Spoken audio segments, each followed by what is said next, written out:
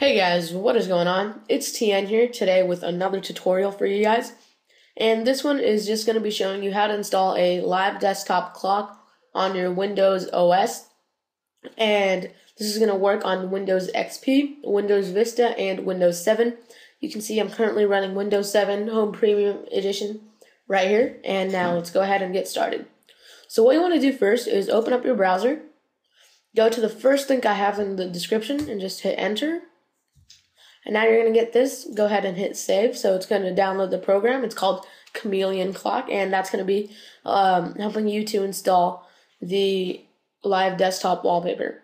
And while that's downloading or downloaded, you want to go to this one, vladstudio.com slash wallpaper clock uh, slash whatever. I'll have a link to this as well in the video description. And I'm just going to go ahead and select one that I really like.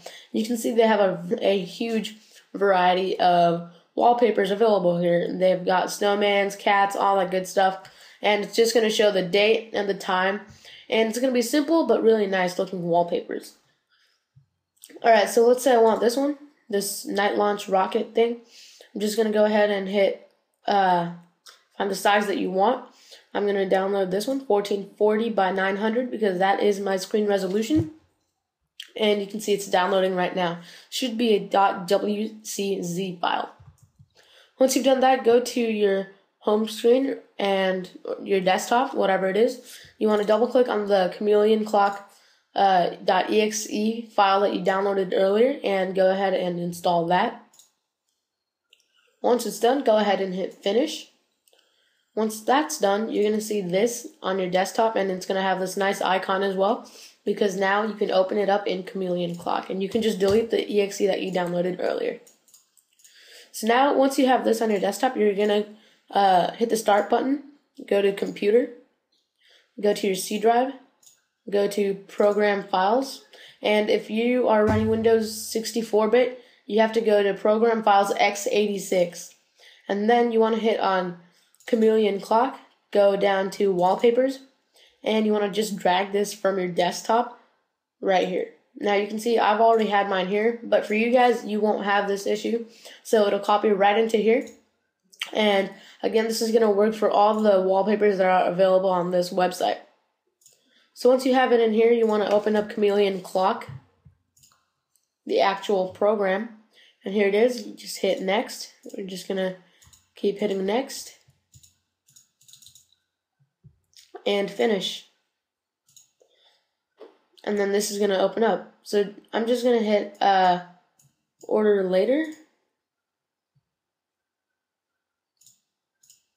And we're going to have this. So you want to have, this is going to open up. You want to make sure enable wallpaper clock is check marked and then just leave it on native and hit OK.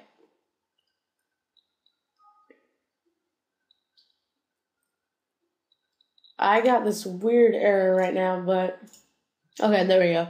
So even though it says that, you're gonna have this completely working.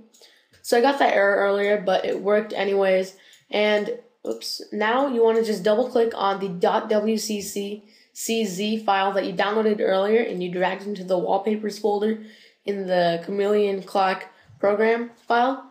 And so, so for me, I downloaded Night Launch, so I'm just going to double click that and it's going to open up the program. It's going to show this, and you're just going to make sure that the wallpaper you downloaded is enabled here, and hit OK. And now you can see I have this nice desktop live wallpaper. It's nice, simple, good looking. I've got the current time right here, and I have the date right here, and you can see it's accurate with this. It is the 10th. Oops. The hell? Okay. There we go. The tenth. The tenth.